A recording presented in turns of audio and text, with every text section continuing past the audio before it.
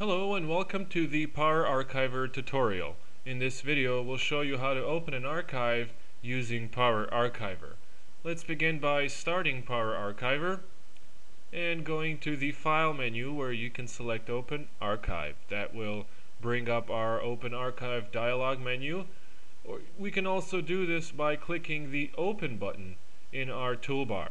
So once we have our Open Archive dialog menu, we want to navigate to the folder where our uh, archive to be opened is located. In this case, the Power Archiver installation folder.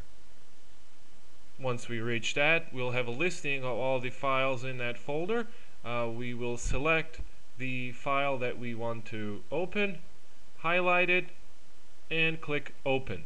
The Open Archive dialog box disappears and we're taken to the uh, main Power Archiver screen that shows the listing of the files contained within that archive. So now that our archive is open, uh, you can use various Power Archiver tools uh, to handle your archive as you wish. So that is a quick rundown on opening an archive using Power Archiver. Uh, for more tutorials and information, please visit our channel. Thank you for watching.